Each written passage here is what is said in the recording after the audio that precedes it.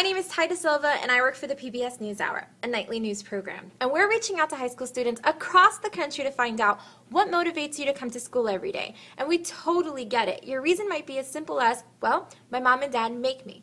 But for this project, we're asking you to think outside the box. Do you aspire to be a marine biologist and you know that education is your ticket there? Do you have a teacher who really motivates you? Do you love to come to school to hang out with your friends? Or do you have a sibling that really looks up to you? Whatever the reason, we'd love to hear it. If somebody would have asked me this question when I was in high school, I totally would have said to make my parents proud. My parents adopted me when I was one and brought me to the United States so I could have a better opportunity. So basically, I would have done anything to make them proud.